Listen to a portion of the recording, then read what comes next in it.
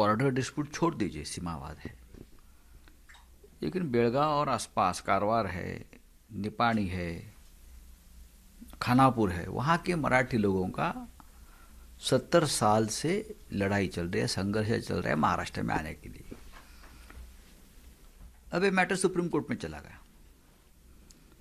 जैसे राम मंदिर का मैटर सुप्रीम कोर्ट में गया, सुप्रीम कोर्ट ने निर्णय दिया। लेकिन चौदह साल से सुप्रीम कोर्ट में चल रहा है। सुप्रीम कोर्ट ने थोड़ा टाइम तो निकालना चाहिए। ये क्या इश्यू है? सुन तो लीजिए।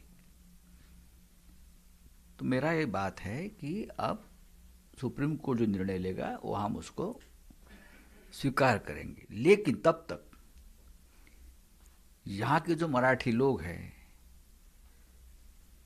उनके ऊपर क्रिमिनल केसेस डालकर उनको जो कार्य करता है जेल में डालो और कुछ करो। मराठी स्कूल है, मराठी भाषा है। मराठी लिटरेचर के बारे में यहाँ कुछ लोग काम करते हैं। उनके ऊपर बैन डालो। ये नहीं होना चाहिए। मैं सिर्फ़ बेलगांव की बात नहीं कर रहा हूँ। मैं देश की बात कर रहा हूँ।